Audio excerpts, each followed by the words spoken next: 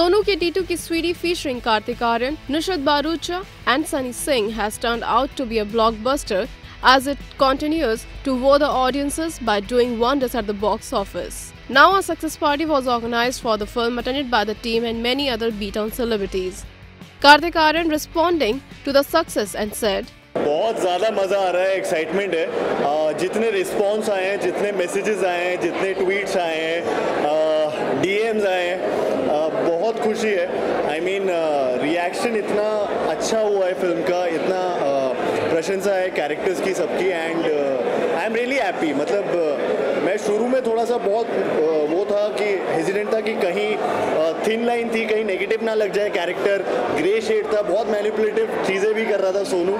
But it all worked out यार and I am really happy जिस तरीके से रिस्पॉन्स आया।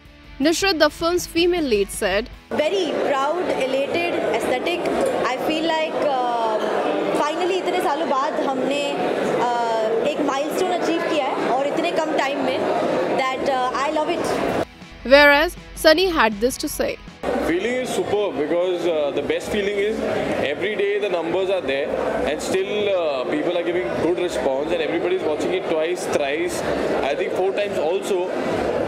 सबसे बड़ी बात ये है कि अगर आज हम कल का भी अगर देखा तो हमने देखा था ढाई तीन करोड़ तो जाता ही है और बहुत प्यार दिया है लोगों ने और बस ऐसे ही हमको प्यार देते रहे हर पिक्चर में the movie however has also beat an Akshay Kumar and has collected eighty eight crore in the Indian business till now